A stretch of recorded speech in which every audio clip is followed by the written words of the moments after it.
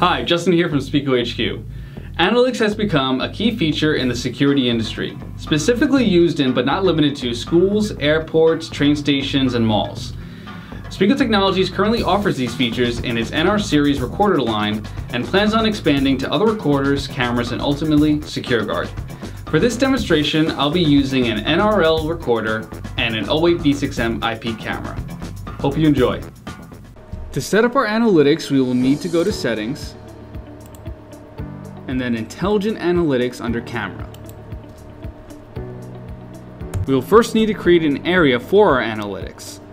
Using your mouse, create your area.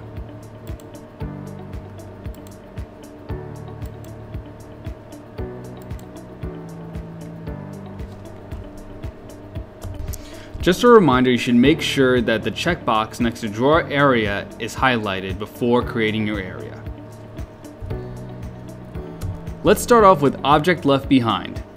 First make sure object detection is turned on and abandoned object is selected. Once confirmed, click apply. The NR series can only handle one analytic feature at a time. A message will be displayed informing you of this. To proceed, click OK.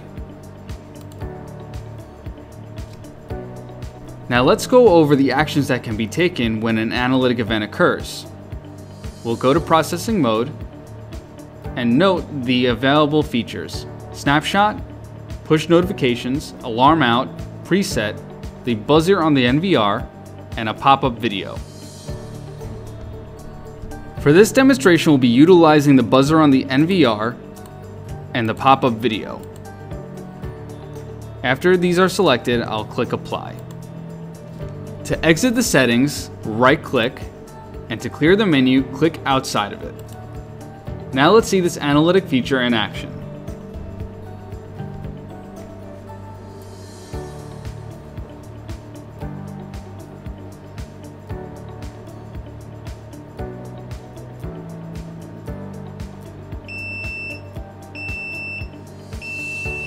Now instead of abandoning an object, we're going to steal it.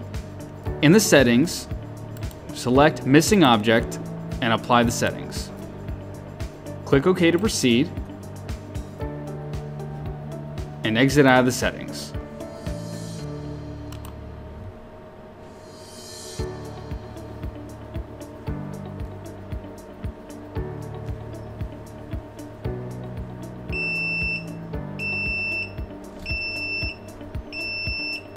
Back in our analytics settings, we will go to the tripwire tab to set up our line crossing event. Once again, make sure the checkbox next to draw a line is filled in. Using your mouse, click and drag to create your line. Like object detection, you will need to make sure that this analytic feature is turned on. Now you will need to set which direction the object needs to come from in order to trigger the alarm.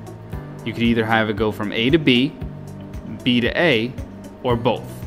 For this demonstration, I'll be using both. Once configured, click Apply. And click OK to proceed.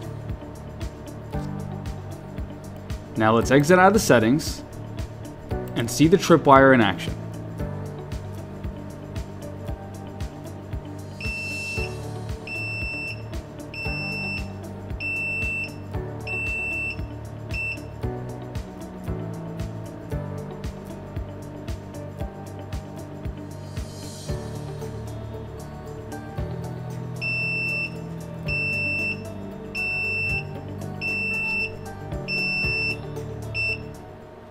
As you can see, these features are easy to set up and will keep your space that much more safe.